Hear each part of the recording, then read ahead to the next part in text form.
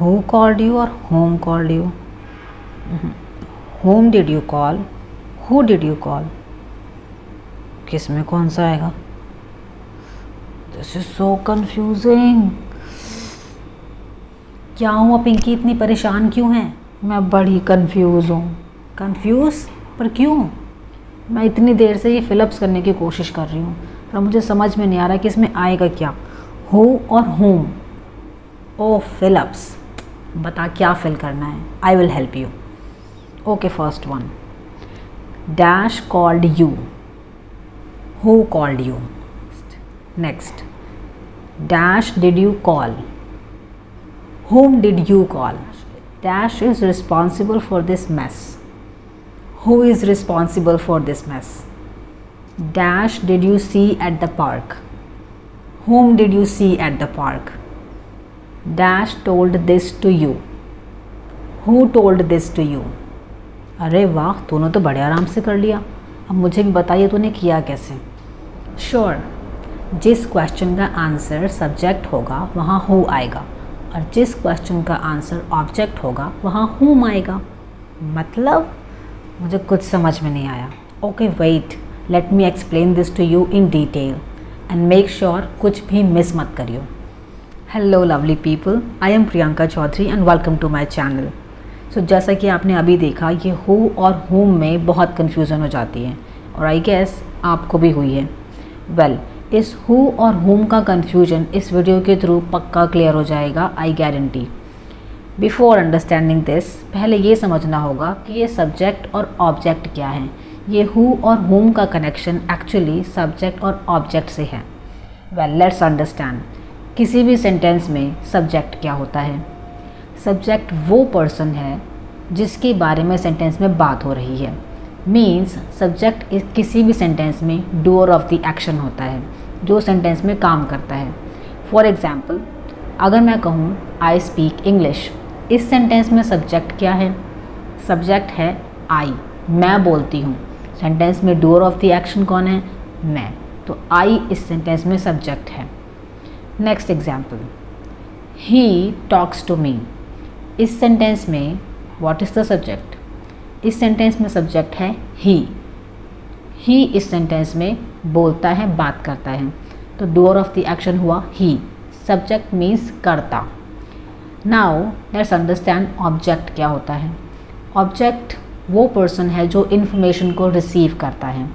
For example he gave the chocolate to him अब इस sentence में उसने चॉकलेट उसको दी। तो चॉकलेट किसने रिसीव करी? हिम हिम इस सेंटेंस में हुआ object another example Rita helps me इस सेंटेंस में हेल्प कौन करती है? रीता तो रीता इस सेंटेंस में है सब्जेक्ट किसकी हेल्प करती है? मी सो मी हुआ इस सेंटेंस में ऑब्जेक्ट आई होप अभी आपको ये क्लियर हो चुका है कि सेंटेंस में सब्जेक्ट एंड ऑब्जेक्ट होता क्या है।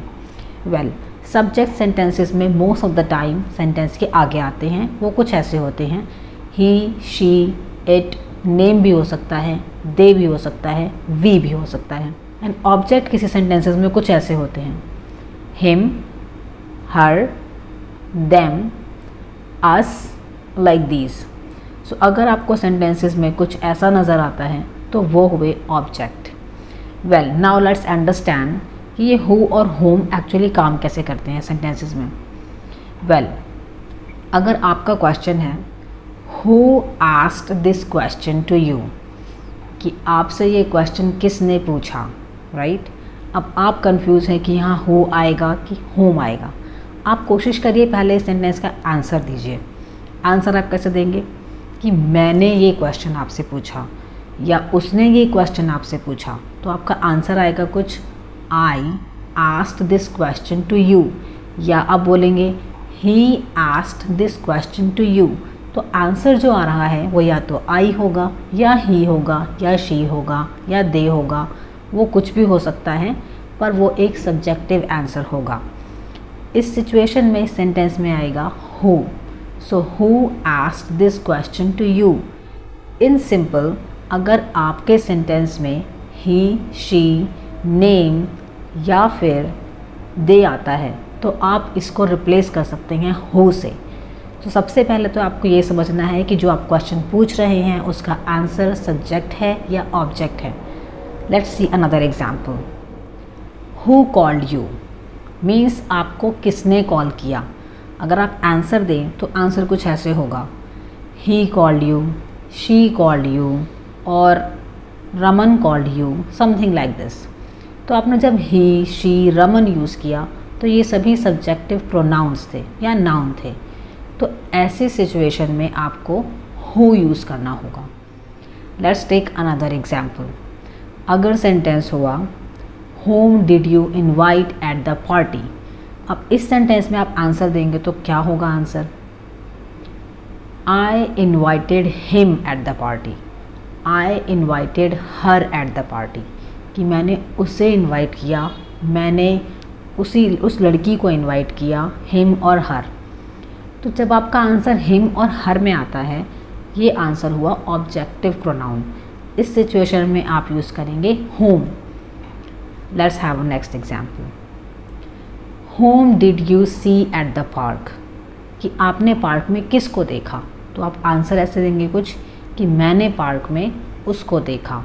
मैंने पार्क में उन सबको देखा। समथिंग लाइक दिस तो आंसर होगा कुछ आपका her him them something like this तो आपका सेंटेंस कुछ ऐसे होगा। I saw him at the park I saw her at the park I saw them at the park right so answer में आपके आ रहा है ऑब्जेक्टिव प्रोनाउन हिम हर और them so it is clearly understood कि इस sentence में आना चाहिए था whom well now let's practice so here is the sentence for you to practice dash ate the chocolate अब आप बताइए इसमें हु आएगा या whom the right answer is who ate the chocolate means chocolate किसने खाया? तो आप आंसर देंगे he ate the chocolate she ate the chocolate और सिया एट द चॉकलेट तो ऐसा कुछ आंसर आया इट मीन्स आपने सब्जेक्ट आंसर दिया राइट सब्जेक्टिव प्रोनाउन या नाउन में आंसर दिया. तो यहाँ पर आएगा हु एट द चॉकलेट किसने खाया? Well next one two dash did you give the gift अब इसका आंसर आप कैसे करेंगे? कि आपने गिफ्ट किसको दिया राइट? तो आपका आंसर होगा कि मैंने गिफ्ट उसको दिया, मैंने गिफ्ट अपनी फ्रेंड को दिया, मैंने गिफ्ट किसी को दिया। मीन्स आपका जो आंसर है वो ऑब्जेक्टिव फॉर्म में होगा।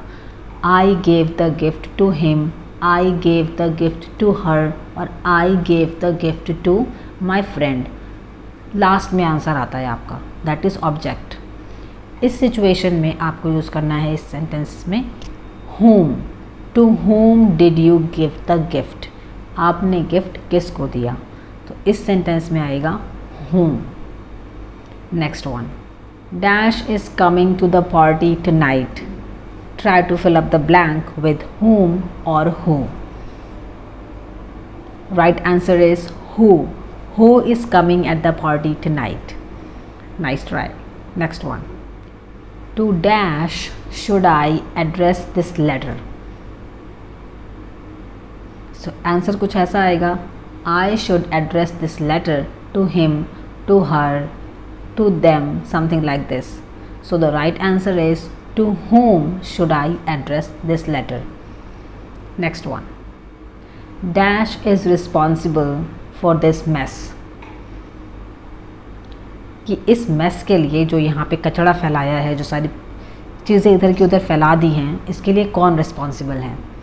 अब यहाँ पे आप क्या फिल करेंगे? हु और होम इसका आंसर देने की आप कोशिश करेंगे तो आंसर आएगा कुछ ऐसा कि ही इज़ रिस्पॉन्सिबल और शी इज़ रिस्पॉन्सिबल और I am responsible for this mess something like this answer होगा आपका सब्जेक्टिव नाउन और pronoun so in this situation आप यूज़ करते हैं हो so the right option is who is responsible for this mess. I hope now there is no more confusion between who and whom. If you really like this video and found it useful, do not forget to give it a big thumbs up, subscribe to my channel and share this video with your friends and relatives. Thank you for watching. I will see you in the next video. Till then, bye bye. Take care.